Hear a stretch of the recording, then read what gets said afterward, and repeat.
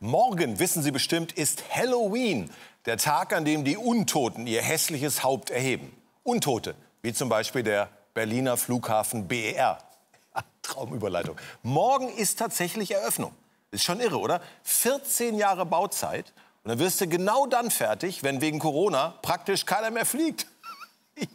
ja, das kommt davon, wenn man auf einem alten Indianerfriedhof baut. Was für eine unglaubliche Pechsträhne war das bitte. Gut, jetzt wird ja alles gut. Es gibt eine neue Posse um den Berliner Hauptstadtflughafen, denn insolvent noch vor der Eröffnung bekommt der BER also nicht sofort eine Millionenunterstützung. Dann ist er pleite. Dann ist er pleite. Jawollo, wie fröhlich er das sagt. In diesem Sinne herzlichen Glückwunsch zur Eröffnung und zur Insolvenz. Toll, wenn man das zusammen feiern kann. Nein, wird garantiert durch eine weitere staatliche Geldspritze verhindert. Wie immer, natürlich. Für mich ist ja, weiß nicht, wie es Ihnen geht, für mich ist ja der eigentliche BER-Skandal, dass niemand jemals Verantwortung übernommen hat für diese Naturkatastrophe von einem Flughafen.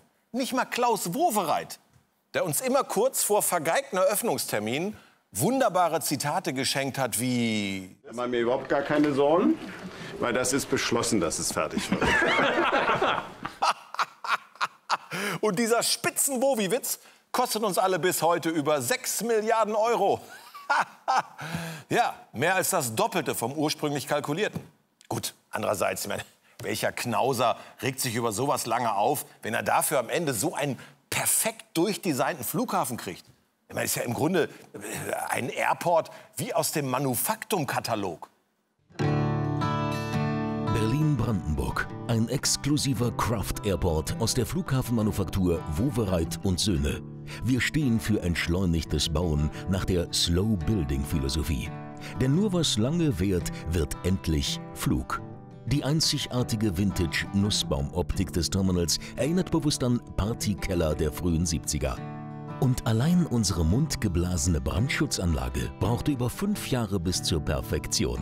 Wenn Sie einen Flughafen wollen, der schnell fertig wird, bestellen Sie doch einen beim Chinesen. Bei uns in Brandenburg ist der Bau das Ziel. BER. Es gibt sie noch, die guten Dinge. Ja, ist ja so. Manche Sachen hat man halt einfach nur, weil sie schön sind, nicht weil man sie noch braucht. Wegen Corona benötigt der BER neben der Finanzspritze von 300 Millionen in diesem Jahr direkt wieder 550 Millionen fürs nächste. Ja und? Sie wollten doch unbedingt einen neuen Berliner Flughafen. Und dann kostet das halt. Für immer. Wir haben ermittelt, dass wir ohne Corona in bis 2023 einen zusätzlichen Kapitalbedarf haben von 1,5 Milliarden Euro. Mit Corona sind das 1,8. Oh Gott. 1,8 Milliarden nur für die nächsten drei Jahre.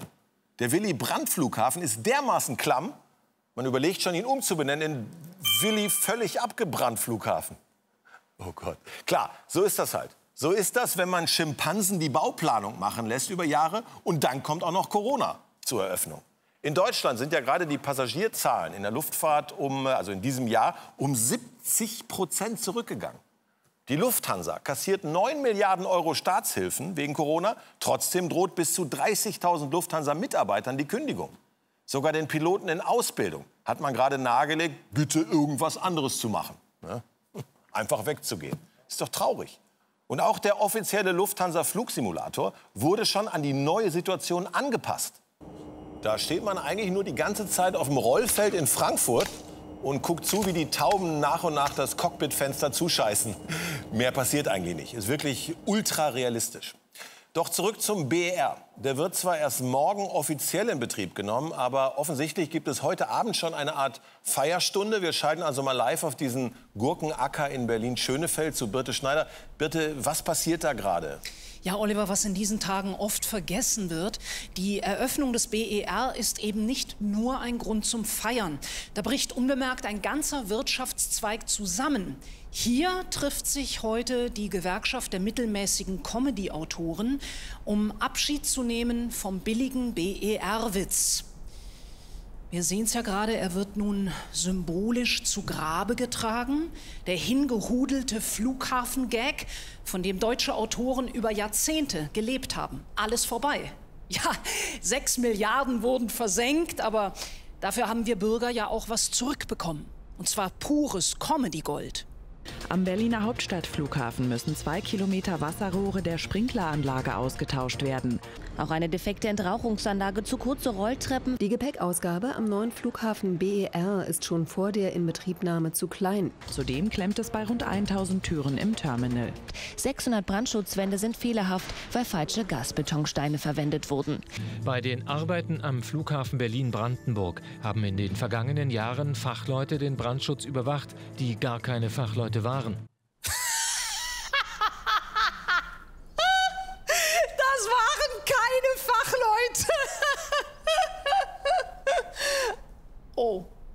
Die Wunde ist doch noch zu frisch, ne? Ja, äh, Leute, es gibt ja Hoffnung. Es gibt Hoffnung, Kollegen. Der BER ist natürlich nicht das letzte Großprojekt, das Deutschland spektakulär vor die Wand fährt. Darin liegt ja die eigentliche Komik, dass man aus dem Desaster original nichts gelernt hat. Nur mal drei aktuelle Beispiele unterlegt mit Dick- und Doof-Musik. Das Humboldt-Forum in Berlin, gerade um weitere 33 Millionen teurer geworden. Jetzt bei 677. Sanierung des Deutschen Museums München. Statt 400 Millionen, jetzt 745 Millionen. Oder Stuttgart 21, ursprünglich mit 2,6 Milliarden kalkuliert. Jetzt sind wir bei 8,2 Milliarden. Für einen verbuddelten Bahnhof. Yeah! Was Sie so lustig finden. Woran liegt das denn, unsere chronische Rechenschwäche? Ja, das läuft jedes Mal gleich. Pass auf. Den Zuschlag kriegt immer die Baufirma, die am niedrigsten kalkuliert. Also lügt. Jedes Mal.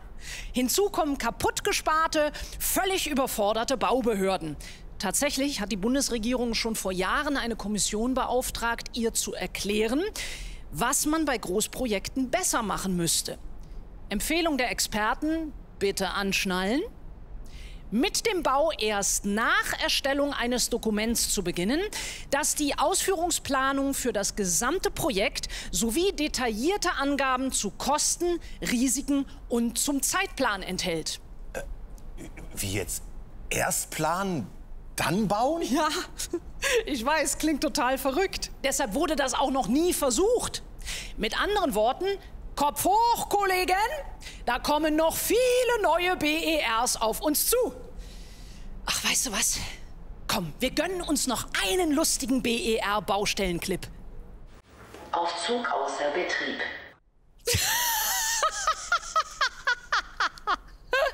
oh, sorry. Schon wieder vergessen.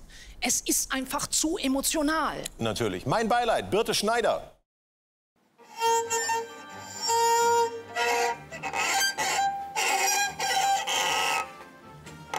Was denn? Ich übe mein Arschgeigen-Solo. War doch versprochen. Ihr könnt ja in der Zeit den Kanal abonnieren.